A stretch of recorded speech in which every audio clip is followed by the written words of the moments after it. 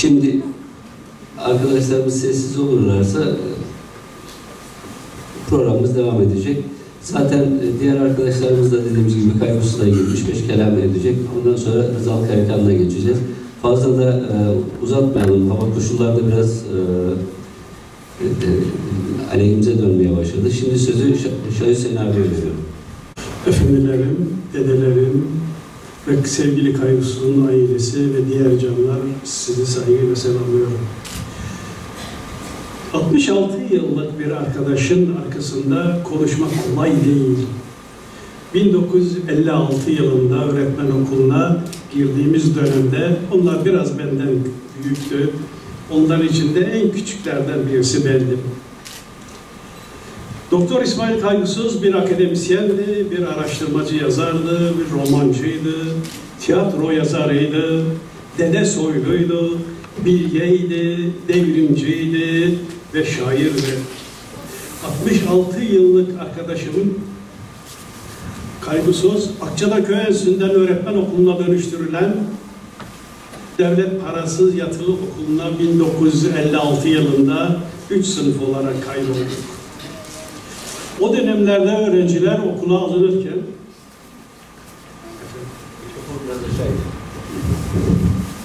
boyumuz.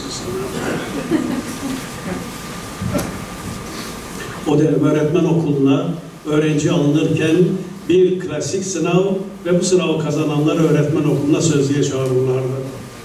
Kaygısız yazılı sınavı kazanmış ve öğretmen okulunun sözlü sınavına giderken anılarını şöyle aktarıyor. 14 yaşımın içindeydim sınava girdiğim yıl. İlk kez bir yük kamyonunun karuselinde toza toprağa bulanarak tek başıma 3-4 saatte Malatya'ya ulaştım. Cebimde 15 lira vardı. 3 lirasını kamyoncuya verdim.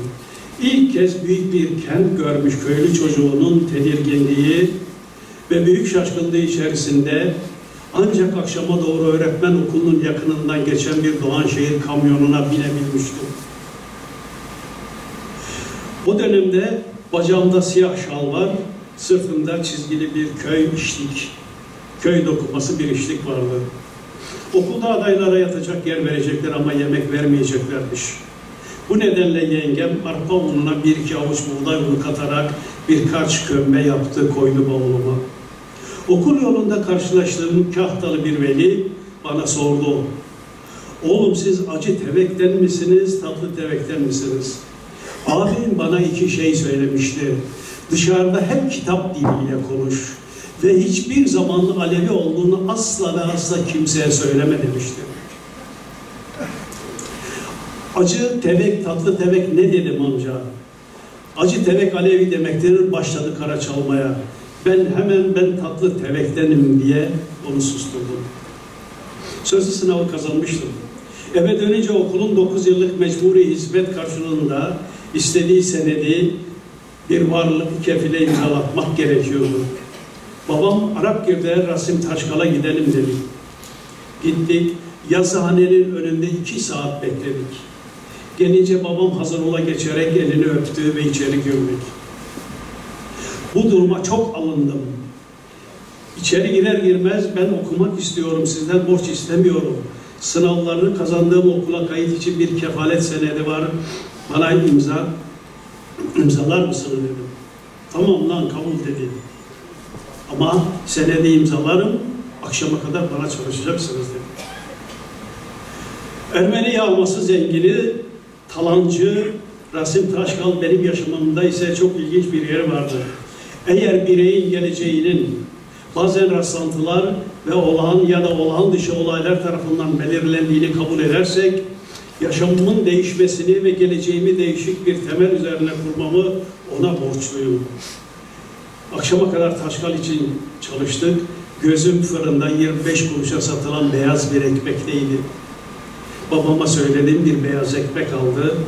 Onu köyde getirdim siyah esmer arpa ekmeğin içine koyduk. İki salkım üzümümüz vardı. Onu yiyince dünyalar benim oldu.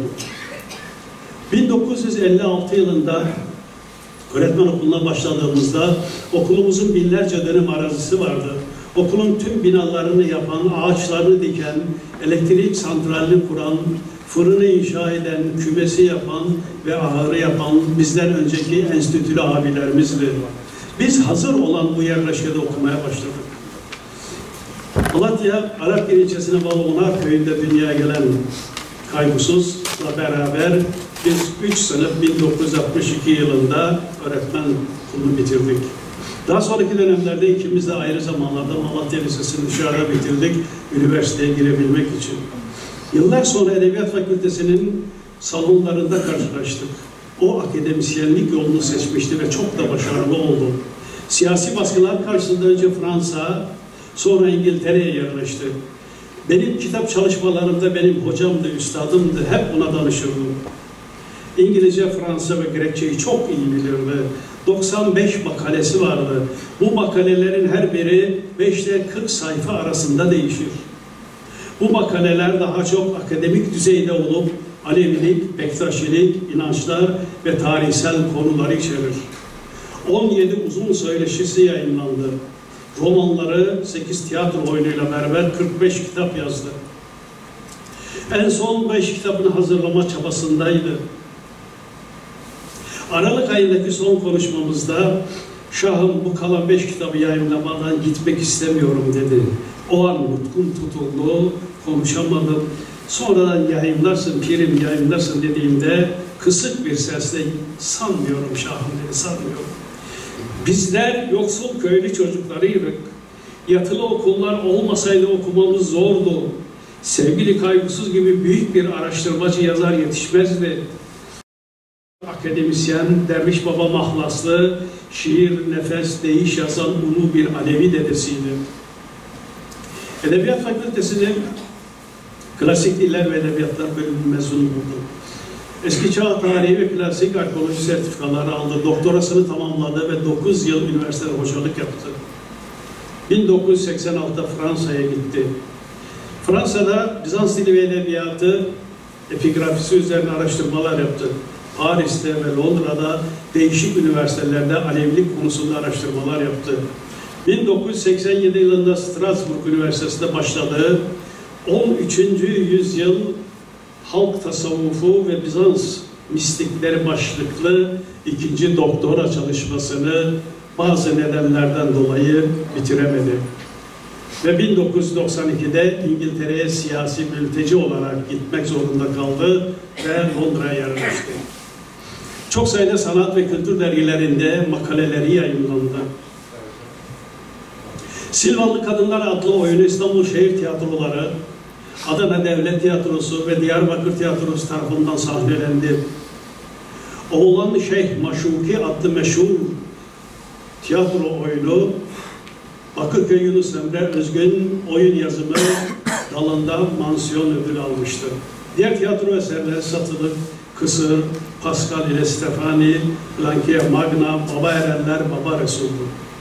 Romanlarında ise Alevi Bektaşi tarihini, Anadolu tarihi, köy toplumu ve bireylerinin dış dünyada ilişkileri bulun, ilişkide bulundukları insanların yaşamlarını konu edinirdi. Kitapların adlarını şu şekilde ifade etmek mümkün. Hasan Sabbah ve Alamut Kalesi, Aleviliğin doğuşu, Anadolu bilgeleri, görmediğim Tanrı'ya tapmam, makalat, şarabi öyküler, İmam Cafer Sadık, Son Görgü Cemi, Kentin Kızı Plankia Magna, Silvanlı Kadınlar, Satılık, Kısır, Pascal ile Stefani, Oğlan Şeyh Maşuki, Baba Erenler, Baba Resul, Şeyh Hasan Onar, Müsahiplik, Alevilik'e dar ve pirleri, Alevilik inanç, kültür ve siyaset tarihi uluları, Hünkar Hacı Bektaş Veli, Alevilik, Diyanet, Siyaset, Aleviliğin doğuşu, bir de çevirisi vardı. Tarihsel bilincin yıkımı, yeniden, tarihin yeniden keşfi, darbe anıları, Alevilik üzerine söyleşiler, Evliya ve Azizler Köyü Onar, Telifuni'nin öfkesi, Ümmül Kitap, Muhteşem Süleyman, Makalat-ı Şeyh Safi yani Safvat-ı Safa, Velayetname nasıl okunmalı, Hristiyanlığın heterodoks akımları ve Alevilikteki kurumsal kalıpları, Tebriz güneşinin ışığını kim söndürdü? Onar Dede Mezarlığı, Öteki Gerçekler, Perge'nin Kızı Planke Magna, Kaygısız Abdal, Abdal Musa Sultan Velayetnamesi, Alevi olmanın bedeli, Savaşlı Yıllar, Çileli Günler, Alamut Batiniliğinden Anadolu Aleviliğine Hasan Safa ve Nasruddin Tutsi, dünden bugüne Alevi olmanın bedeli, Müslümanlık ve Hristiyanlığın inanç ögelerinde Öteki Gerçekler adlı kitaplar. 95 makalesinde bazılarını da şöyle anımsatmak gerekiyor, adlarını söylemek gerekiyor. Mürşid-i Kamil'e varıp el almadan dede olamaz. Hünkar Hacı Bektaş Veli'nin makalatı, Alevi halk hareketlerinde başını alıp gitmek değil, başını vermek vardır. 8 ve 9. yüzyıllarda Alevi hareketleri Hacı Bektaş ve Said Emre, Abdal Musa Sultan, tarihte Kızılbaşlar minnet etmediler Şah'a ve Sultan'a, Sufi Kıran yani Çaldıran Savaşı, Kaygusuz Abdal Sultan, Büyük Düşünür Hünkar Hacı Bektaş Veli, Pir Sultan Abdal, Kalender Çelebi ve Şah İsmail buluşması, Şeyh Hasan Onar Köyü, Kalender Çelebi'nin isyanı, 2 Temmuz, Sivas Kırımı. Bana göre kaygısız Cumhuriyet döneminin Alevilik, Bektaşilik alanında akademik düzeyde araştırma yapan en önemli yazarıdır. Lozan Antlaşması'na göre Batı Trakya'daki Türk öğrenciler öğretmen olmak için öğretmen okulundan 20 kişi gönderilmişlerdi. Bizden bir devre önceki bu arkadaşlarımız kaygısının hakka yürümesinden dolayı başsağlığı dileklerini ailesine iletmemi istediler. Rahatsızlığı döneminde sürekli telefonda görüşüyorduk. Son konuşma, Kasım ayındaki bir konuşmamızda Şahım ne yapıyorsun? Dedim ki Hatay Divanı'nı genişleterek yayına hazırlıyorum. Sana dedi bir iyilik yapacağım. Hiç yayınlanmamış olan bir Hatay'ı şiirini vereceğim sana. Bu da bunu da hiç unutma demiştim. Diğer bir anekdot.